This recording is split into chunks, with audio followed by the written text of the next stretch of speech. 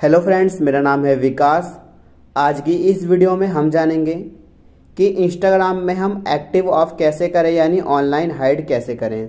मैं चाहता हूँ कि जब भी मैं इंस्टाग्राम पे ऑनलाइन आऊँ रील्स वीडियो देखूँ या कुछ भी करूँ मैसेज करूँ तो किसी दूसरे व्यक्ति को ये दिखाई ना दे कि मैं ऑनलाइन आया हूँ।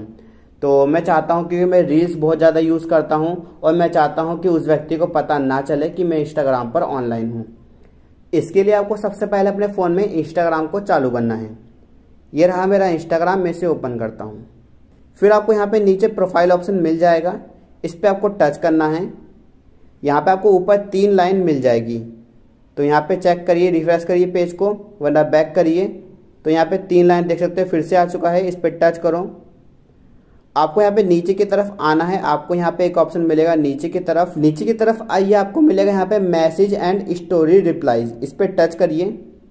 इस पर आने के बाद आपको यहाँ मिलेगा शो एक्टिविटी स्टेटस इस पर टच करना है और सिंपल इसे बंद कर देना है। पर एक बात का ध्यान रखिएगा, अगर आप इसे बंद करते हो और आप इंस्टाग्राम पे ऑनलाइन आते हो तो दूसरे व्यक्ति को नहीं दिखाई देगा।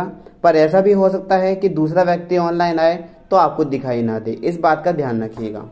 बैक करिएगा और यहाँ पर आपको मिलेगा शोर्ट रीड रिसिप्ट आप इसे भी बंद चालू कर सकते हो। इसमें क्या होगा कि हमने मैसेज पढ़ लिया है उसका तो यहाँ पे उसको पता नहीं चलेगा कि हमने उसका मैसेज पढ़ लिया है। शायद आप समझ गए होंगे। वीडियो पसंद आई है लाइक करें, चैनल को सब्सक्राइब करें।